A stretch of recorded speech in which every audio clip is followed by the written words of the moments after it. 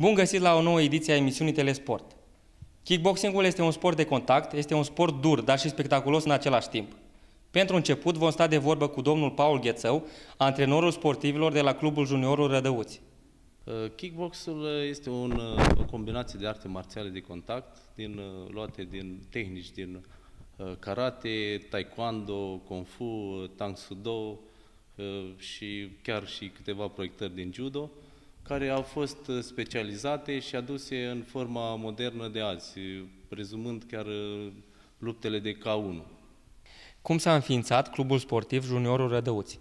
Uh, Clubul Sportiv Juniorul Rădăuți s-a înființat în 2011, a fost un proiect de-a meu și a unui prieten de-a meu, Nicolovici Cristian, actualul președinte de la Clubul Sportiv și a fost, el era cu uh, responsabil cu ruibile, am stabilit noi și eu cu kickbox, având și el înclinație spre ruibi și am, uh, am înființat acest club. Uh, problema a fost că atunci nu, noi ne-am gândit că foarte repede să ne mișcăm în privința actelor și a documentației, dar uh, cum e birocrația la noi, a durat mai mult. Sala de sport tot greu am găsit, mulțumim domnului director Stoica Viorel, care n-a avut uh, ce să...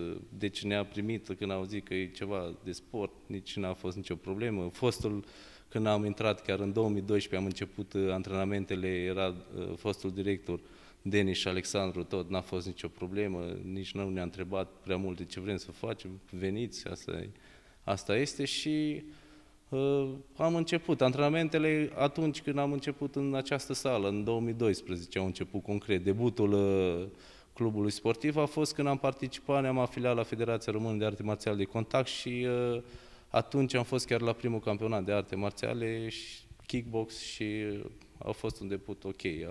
Am avut rezultate, locul întâi uh, la junior, la categoria plus 84, Lupul Cosmin, locul 2, am participat și eu să fiu alături de copii. Am luat locul 2 la plus 94, chiar dacă categoria mea a fost de 90 kg, dar nu au fost adversari la 90 kg. Uh, locul 2 au mai fost alt, alți sportivi, uh, am mai fost alt sportiv Alexandru Amariției uh, și am, deci am fost patru, dintre care am venit cu două locuri, 2 și locul 1.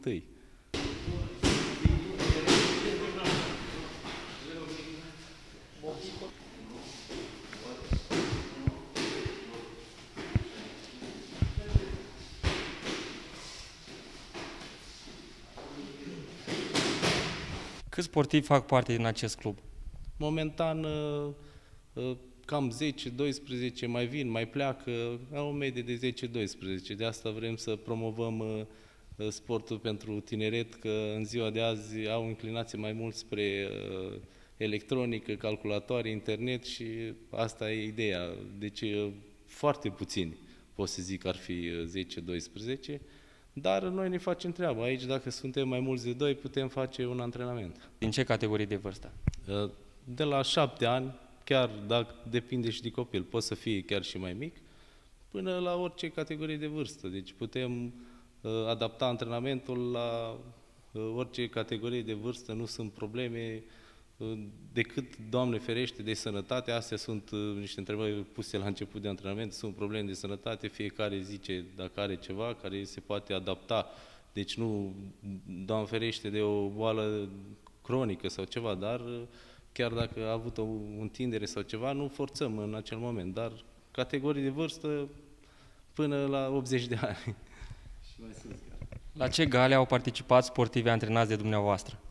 Uh, debutul clubului, uh, antrenamentele a fost din 2012, dar debutul clubului a fost în 2013 când ne-a afiliat la Federația Română de Arte Marțiale de Contact. Uh, și am fost invitat atunci la campionatul național de kickbox și am fost cu un număr de patru sportivi, am fost și eu alături de ei, am participat anul trecut la campionatul național, mă întrebau, domnul instructor, nu veniți și dumneavoastră, dar nu participați, zic, cum să nu mă duc cu ei, chiar dacă e prima, primul concurs al lor, am fost uh, alături de ei și am avut chiar uh, și rezultate. Au avut, uh, am avut locul întâi la junior, Cosmin Lupul, având atunci 16 ani, la categoria de minus 84 de kilograme. Chiar nu ne-am așteptat chiar din primul concurs să luăm locul întâi. locul 2, uh, eu, uh, Alexandru Amariției, locul 3, Tiron Cosmin, un, toți erau colegi la, la liceu în, în perioada aceea. Dar cel mai bun rezultat obținut de dumneavoastră ca și sportiv, care a fost? Uh, al meu sau al sportivilor? Al dumneavoastră. Uh, eu, uh, deci anul trecut când am participat, am, am vrut să particip la categoria mea de 90 kg la campionatul național de kickbox și uh, n-am avut, n-am fost concurenți uh, la categorii și am participat la plus 94, am luat locul 2 atunci la naționale. În paralel am mai participat la un campionat de Unified, care tot este un mix de arte marțiale apropiat kickboxului, numai că este în kimonouri specifice artelor marțiale uh, și uh, continuându-se la sol cu uh, procedei de judo. Și am participat și în plus de asta de lupta în ring mai este o combinație de tehnici militare, un traseu care se efectuează înainte de intrarea în ring. Și anul trecut am luat locul 3, că am fost, m-am fost accidentat, dar anul acesta am luat locul 1 la campionatul național de Unified pe Ministerul de Interne. Cum decurge un antrenament de kickboxing? Uh, practic, e ca o, și ori, este un sport kickboxul, ca și oricare alt sport. Deci începem cu o încălzire care este universală în orice sport. Uh, avem uh, multe exerciții specifice care în jur de 30-40 de minute cu parteneri, lupte controlate, Uh, și se termină cu uh, forța specifică, forța specifică nouă. Deci uh, nu vă gândiți că folosim greutăți mari, culturism, deci chiar dacă un luptător de kickbox arată atletic și deci nu folosim greutăți mari. Forța specifică kickboxului. Când este un sportiv pregătit să lupte într-o gală?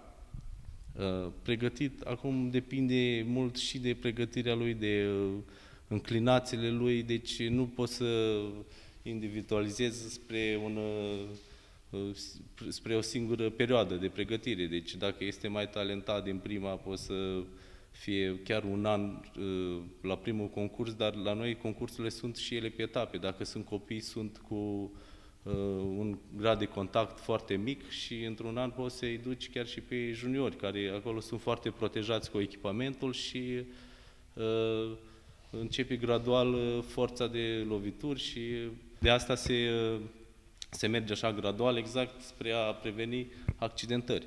Și pentru performanțe pot să zic că am un 2-3 ani după ce trece prin toate formele de antrenament care le au uh, de la Federația Română de Arte Marțiale de Contact și apoi pot să lupte cu echipament mai puțin, forma de K1, numai mânuși și opțional tiberii.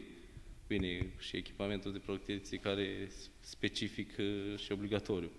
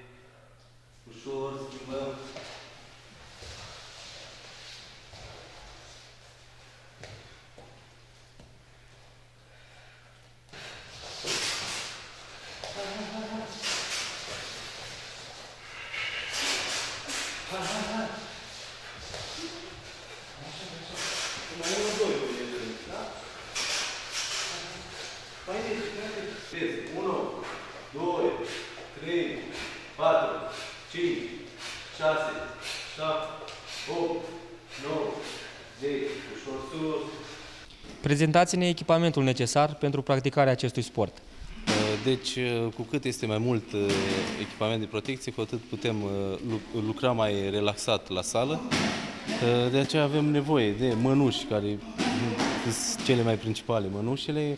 Sub mănuși avem fașe, care țin foarte bine încheietura mâinii și uh, protejează, uh, ține mai bine și degitele și uh, sunt, sunt niște chestii care nici nu te lasă la concurs foarte, fără ele.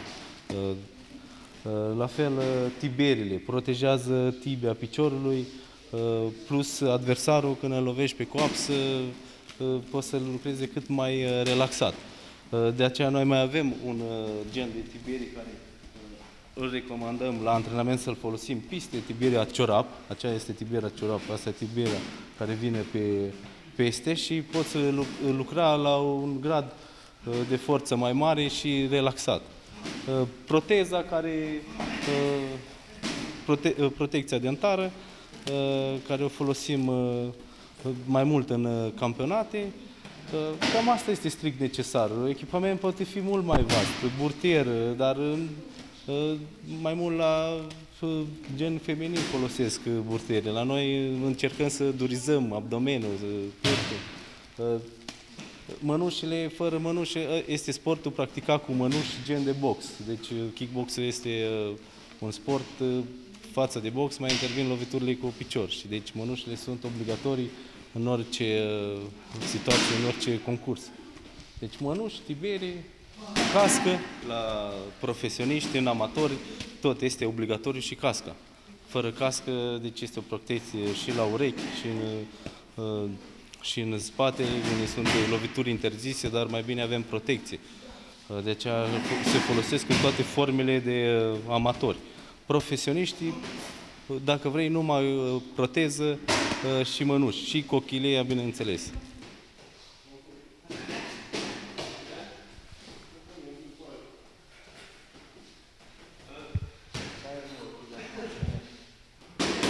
De ce ai ales să practici kickboxing-ul? Eu l-am ales acest sport deoarece e un sport al autoapărării. De cât timp vii la antrenamente? Eu vin la antrenamente de un an jumate. De ce îți place acest sport? Păi, acest sport m-a ajutat să, să mă apăr de ceva copii mai răi. Și cam atâta. Care este luptătorul tău preferat? Luptătorul meu preferat e Daniel Ghiță. De ce? Păi, pentru că este român și îmi place cum luptă.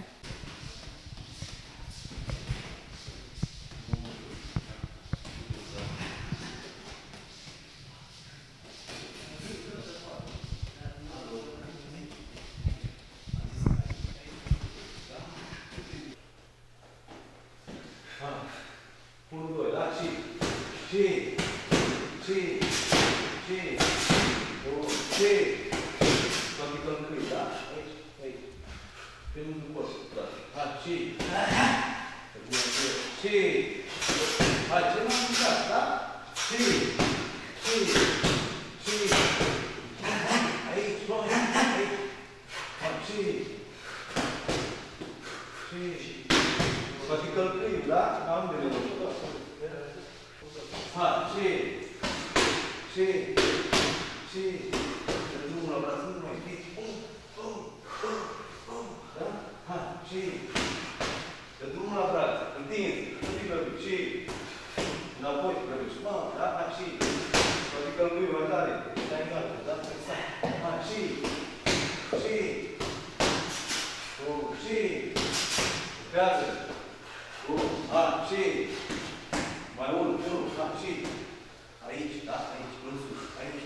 Sì.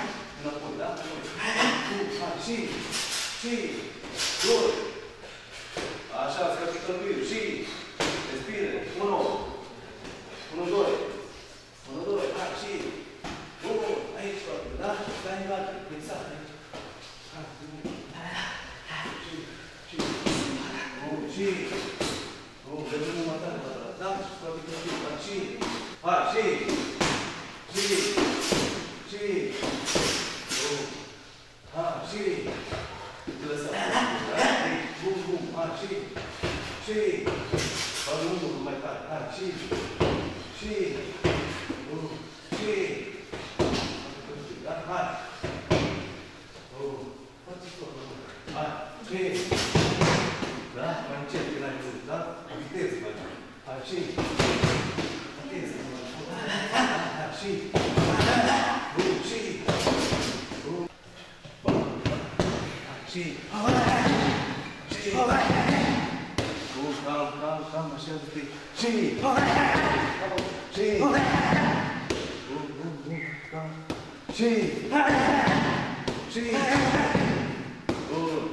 noite.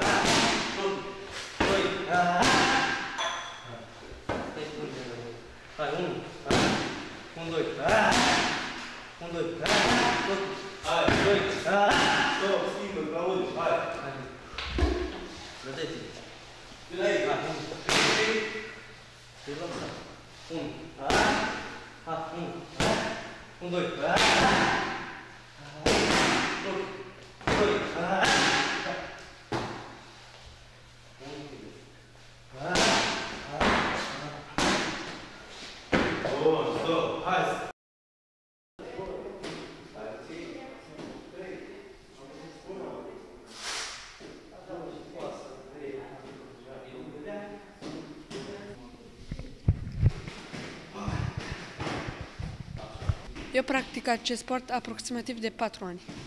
Și pentru ce te antrenezi? Pentru sănătate și pentru autoapărare. Care luptător îți place cel mai mult? Cel mai mult îmi place de Mărășanu, deoarece este un luptător foarte bun și este un bun mentor. Mai relaxa, mai relaxat,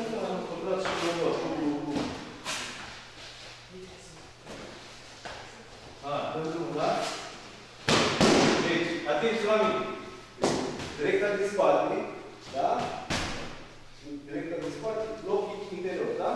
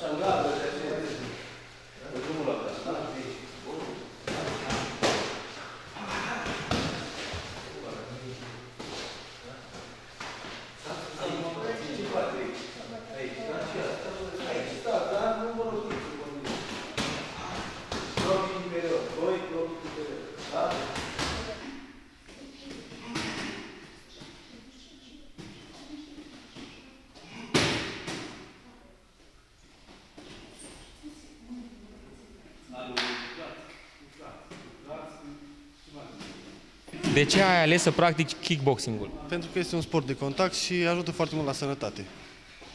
La ce competiție ai participat? La campionatul național de kickbox. Și ce loc ai obținut? Vicecampion național.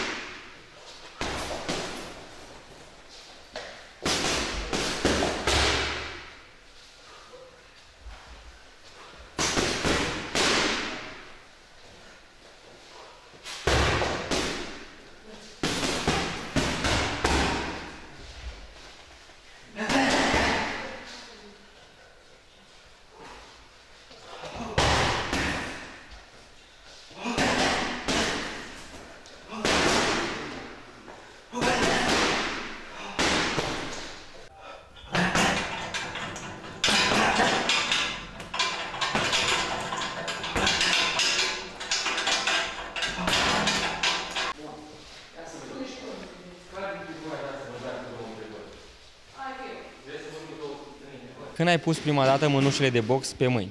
Aproximativ acum uh, 3 ani am ales uh, de unul singur să practic kickboxul. La ce competiție ai participat până acum? Am participat la campionatul național de kickbox. Am obținut titlul de campion național în 2013 și în 2014 am obținut titlul de vicecampion. Și în momentul de față, pentru ce te antrenezi? Care va fi următoarea gală la care vei participa? Următoarea gală la care voi participa va fi în Londra, Warrior Challenge, pe data de 6 oc- decembrie. Care este luptătorul tău preferat? Uh, Ramon Decker, De ce? pentru că are un stil aparte.